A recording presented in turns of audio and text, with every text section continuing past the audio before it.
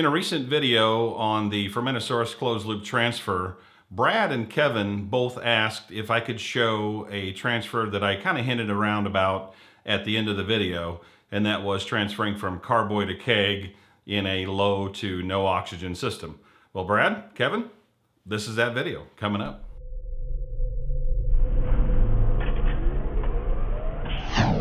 How's it going? My name's Brian. I'd like to welcome you to the video. If this is your first time here and you'd like to learn more about electric brewing, see how-to videos just like this one and all sorts of other home brewing related stuff, don't forget to subscribe, and if you do, hit the bell so you don't miss a video when it comes out. So let's just jump into it. The first thing that I recommend doing is filling the keg completely to the top with a water Star San solution, just like I have in pretty much every other video that I've shown. And what you're gonna do when you do that is transfer under pressure with CO2 to a receiving keg, and I just do that to kind of leapfrog down the way. Now, one of the things that I did do when I did that was instead of getting my big wallpaper tray out and wasting a bunch of Star San and everything, I thought, well, I have Star San and water in the keg and I'm going to transfer it. So I just used the assembly that I'm going to use to transfer from the carboy to the keg to transfer from one keg to another.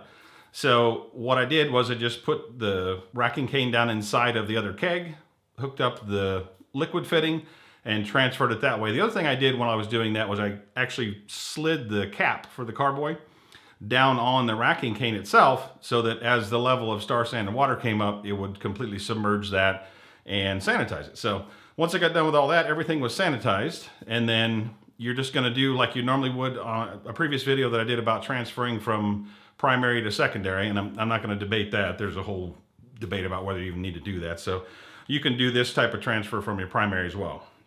So you're gonna put the cap on and you're going to put the racking cane down in you're going to hook up the ball lock fitting, the liquid line to the inside of your keg.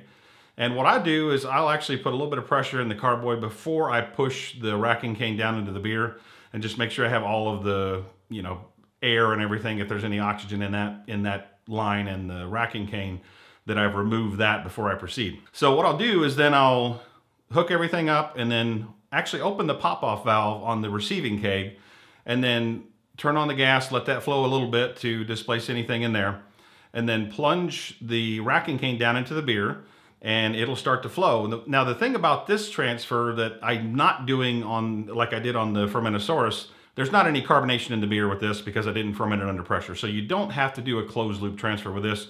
You can simply open the pop-off valve, hold it in an open position by twisting it when you open it, and then transfer your beer under pressure. And then once you get it transferred, then just close the valve, pressurize it, everything is good. I've pretty much about covered almost every single type of closed loop or oxygen, low oxygen transfer that I can think of. There is one more with a bucket and I may do that. I got some inspiration for a thought that I had in my head on, on uh, Instagram from someone. So I may wind up doing that. But if you want to see the video that is of the Fermentasaurus closed loop transfer, just click or tap the screen right here. And if you want to see another video on transferring from primary to secondary with low oxygen, tap or click the screen right here. If you'd like to subscribe, hit that round Short Circuit Brewers icon now. This has been Brian for Short Circuit Brewers. We'll see you on the next video.